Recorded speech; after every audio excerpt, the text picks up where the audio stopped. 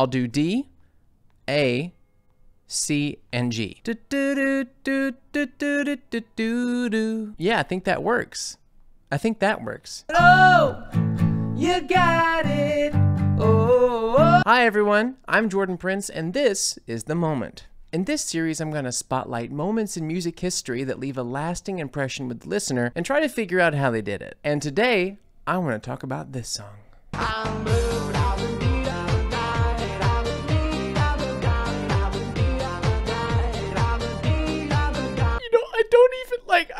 Even trying. I don't want this game anymore. I don't want this game anymore. This song. She's up all night to the sun. I'm up all night to get some. She's up all night for good fun. I'm up all night to get lucky. Oh, funk hair. That's right. Get Lucky is a song by French electronic music penis robots, um, huge sentient vibrators, Daft Punk, featuring American singer and not so secret sexy soulful vampire, Pharrell, and Nile Rodgers. The song was written by all four. Daft Punk released this song as the lead single from their fourth and final album, Random Access Memories, on 19th of April 2013. I can't believe that was already a decade ago. Time is a flying by. We're all gonna die someday. Before its release as a single, Get Lucky was featured in a television advertisement that was broadcast during an episode of Saturday Night Live, where Williams and Rodgers announced their involvement. Get Lucky is a house inspired disco, funk, and pop track with lyrics that, according to Williams, are about the good fortune of connecting with someone as well as sexual chemistry. it's a philosophical investigation into like existentialism and politics. I mean, don't we all want to get lucky? Get Lucky has received much acclaim since its release, with a number of them praising Williams' vocals and Rodgers' guitar licks. The song reached number one in uh, all countries, a lot, most of them, including Daft Punk's own native France. That's right, these metallic sausages are French. Bonjour, bonjour. They are from Frankreich. Little known fact. They actually wrote the song Voulez-vous coucher à?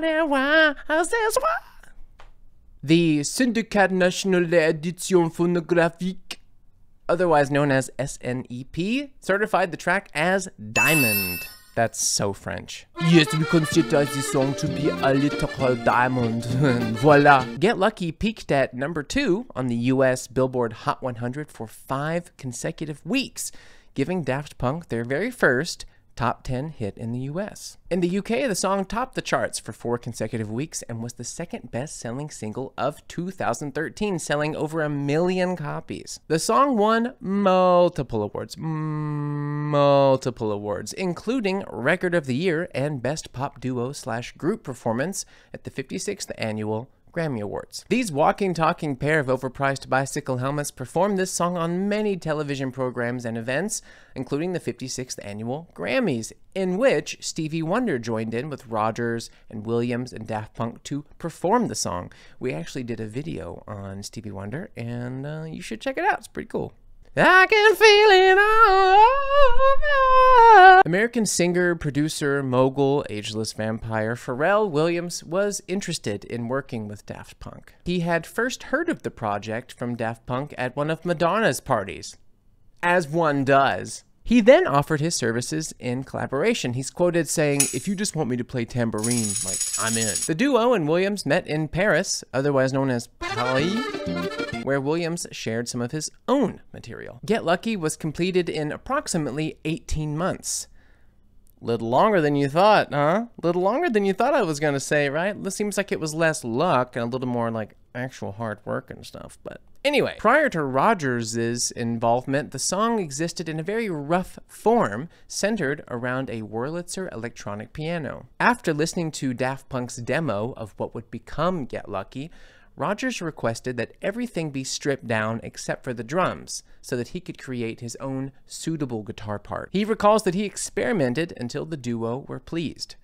I wonder what that looked like. You think their helmets just flashed on and off like lamps? Maybe they programmed themselves to clap?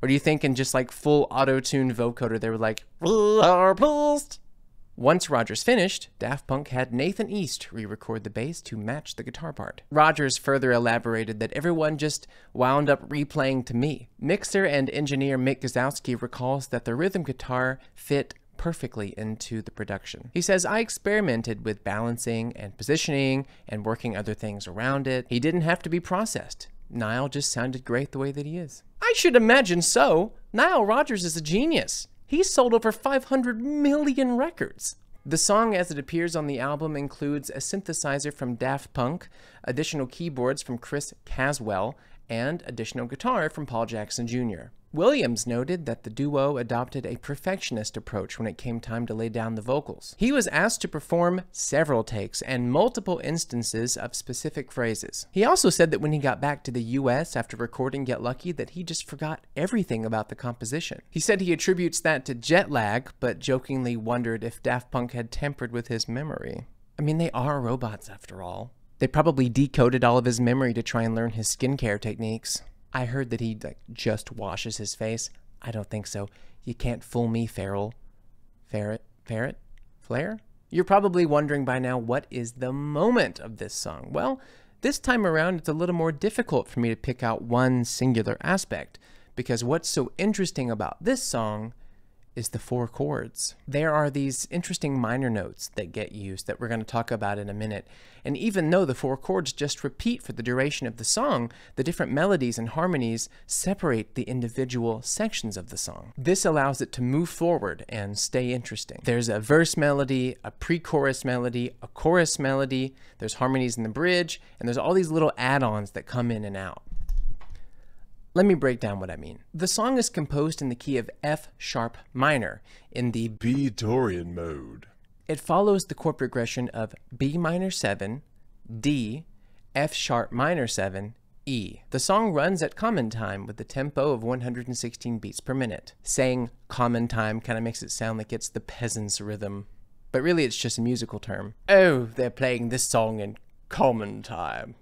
Okay, so to elaborate what's so special about this chord progression, in an article for Slate, Chris Pallett stated that the song can be heard in two different keys. He says most of the time the song sounds like it's in the key of F sharp Aeolian. Alien? Which is a form of F sharp minor. And it appears as the third chord in the progression under the line We're Up All Night for Good Fun. The first chord of the progression isn't F sharp minor, but B minor. The song slides back to it each time. And when the chord cycle comes back around to the beginning, for a moment the ear is tricked into thinking that the song is in a different key. He calls it a musical tilt-a-whirl. According to Pallett, in the bridge of the song, Daft Punk overlays the hook of the pre-chorus on top of the hook of the chorus and has them playing simultaneously. British journalist Caitlin Moran speculates that the song's attractiveness is due to its minor chords in addition to its disco type upbeats throughout the song, the former leaving it kind of unresolved. I'm up all night to get lucky. That's sexual politics. Pharrell mentions that the title Get Lucky isn't just about hooking up, but instead about that feeling when you first meet someone and there's that instant connection. Williams' vocals and Daft Punk's vocoder span three octaves together. From D2 to D5. Friend and occasional collaborator Chilly Gonzales said that the duo had used this progression before in their song Around the World. He says that the verse, the bridge, and the chorus of Get Lucky are largely defined by the melodic phrasing of the vocal. You see, this is what I find so interesting about this song. These guys used only four chords throughout the entire song, but just doing that, they put all the attention on the rhythm and the instrumentation and the melodic phrasing. And so each section of the song is interesting.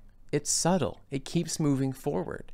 So that's the kind of thing that I want to look at today with you. We're going to choose four chords and we're going to make a very short little song, but just to show you that you don't have to stress yourself thinking of new chords to change into for a different section or a B section. You can do that, and sometimes that's great. There's nothing wrong with that. But just to show you, if all you know is four chords, you can still write a cool song. So we're going to change the setup here. I'm going to get my guitar out. We're going to pick four chords at random that and we're going to make sure they go together, but we're going to pick four chords, keep them going, and make a verse melody and a chorus melody. And then you're going to let me know in the comments later if you think it works or not. Uh, All right, guys, so as you can see, we have a bit of a different setup now. I have my Taylor Acoustic with me, my trusty old axe with my SM7B microphone into my Focusrite Scarlett 2i2 audio interface, and all of this is running into the most updated version of GarageBand for Mac because it's free and it's simple. And what I want to do today, I'm going to pick four chords and I'm going to write a verse melody and I'm going to write a chorus melody. And then I'm going to perform them so we have a short little song so that hopefully you at home with minimal equipment can also be inspired to hopefully write your own song, not worrying too much about having a hundred different cool, crazy different chords, but instead we're going to just pick four and play those four all the way through. So I think because my favorite chord is D, because you got to love that D, I'll do D, a, C, and G. Let's see how that sounds.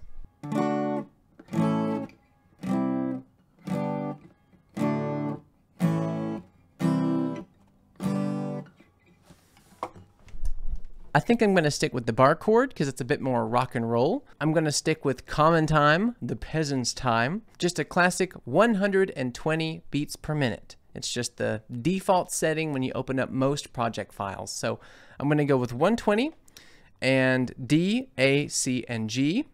And uh, let's try and write a cool little rhythm, why don't we?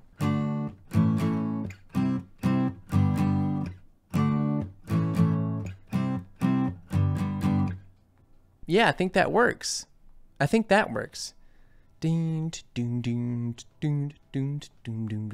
It's a classic. It's a standard way of moving from those moving those four chords around, and it'll be a simple way to add a verse and a chorus. Um, up next is finding that verse melody. I'm gonna try and write down some lyrics here so that I can sing them once we have that melody down.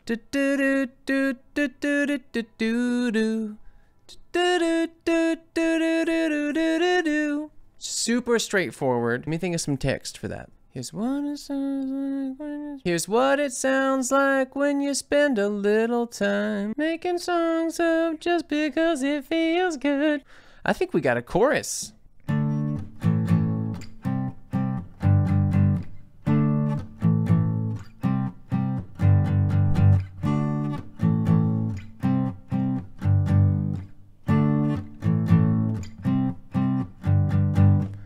Here's what it sounds like when you spend a little time making songs up just because it feels good. No need to worry what the end result will find. Just take your four chords and do it like the pros would. Oh, you got it.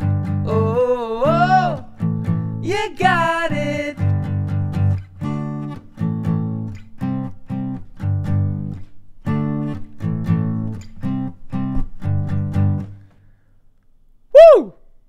You got it. All right, the staff of Rolling Stone says that Get Lucky has bright guitar shimmer, robot come ons, falsetto soul, and a beat that will keep you having good fun until the sun comes up. Do you agree? Is there another great song, another moment, another artist that you think I should cover in this series? Just put it in the comments below. Make sure to hit subscribe and make sweet, sweet love to that notification bell so you don't miss anything. Thank you for watching.